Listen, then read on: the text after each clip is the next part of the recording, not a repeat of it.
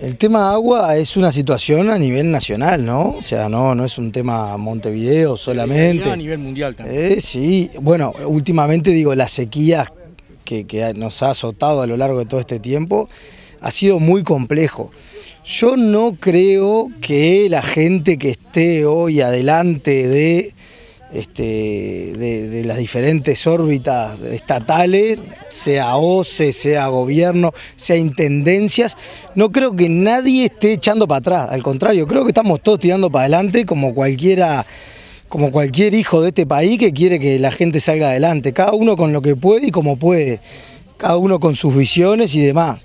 Este, yo como cura no me meto en política partidaria, pero sí le pido a Dios y rezo para que para que nos mande agua del cielo, para que este, podamos por lo menos apalear esta situación.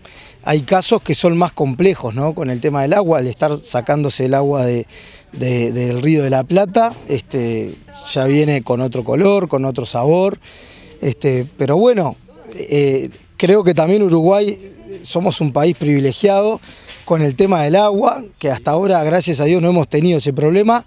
Hoy lo estamos teniendo y hay que afrontarlo espalda con espalda, unir fuerzas.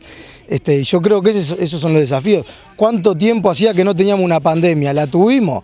¿Qué vamos a hacer? ¿Mirar para atrás? No, para mí hay que mirar para adelante y echar para adelante y que cada uno ponga lo que tiene que poner, pero consciente que es una necesidad que estamos viviendo como país, no solamente en Montevideo, como país.